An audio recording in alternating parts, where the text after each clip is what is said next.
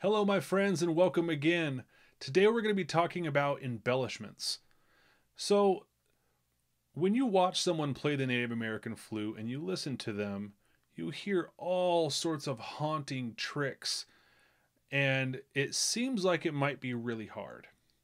Well, today we're going to explore how simple it actually is, and we're going to dive into how to practice it and how to do it.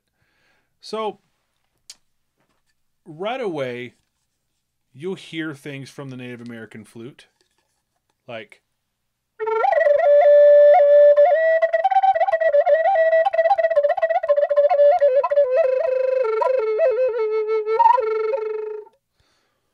Right?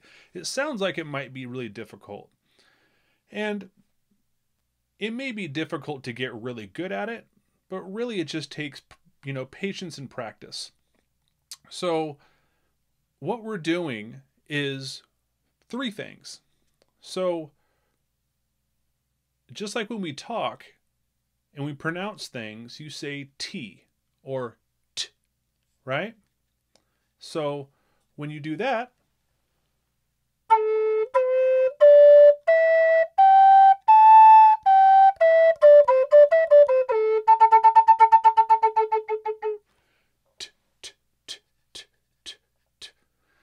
Okay?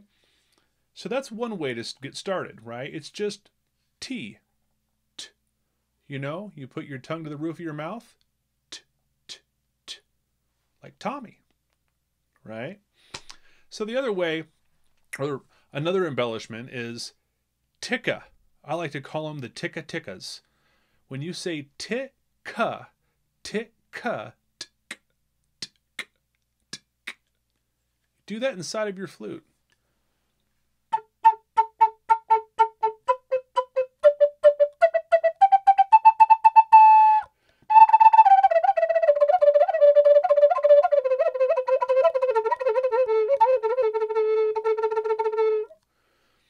Okay.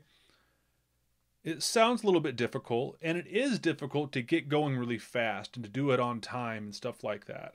But it just takes time, practice, and patience. Okay. Another really great embellishment is rolling your R's, just like you would, right? Like you're purring like a cat, right?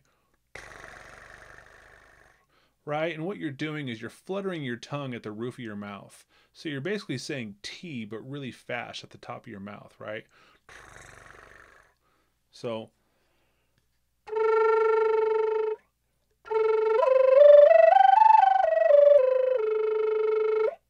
Right? And a really great way to use that is that is at the very end of a phrase or going through a phrase.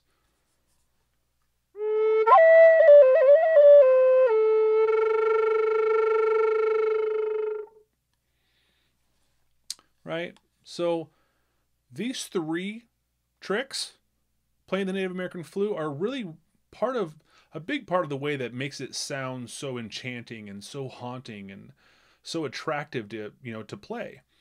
So if you do all three of them at the same time, you could put them where you want to, and that really is what gives your playing character, and you get to put them where you want. So here's a little demonstration.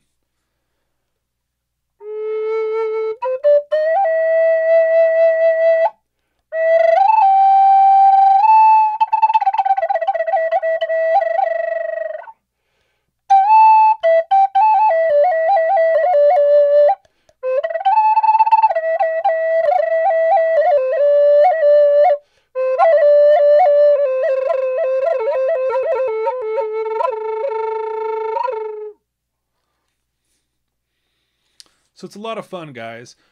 Be kind to yourself, be patient, have fun doing this. If you're not having fun doing this, then there's no reason to play the flute. So have a lot of fun, practice, practice, practice, and you'll get there. And I really recommend getting a metronome and playing along with a metronome. It really helps you build that muscle because the more that you do this, the more that muscle will build and the more control you'll have with it.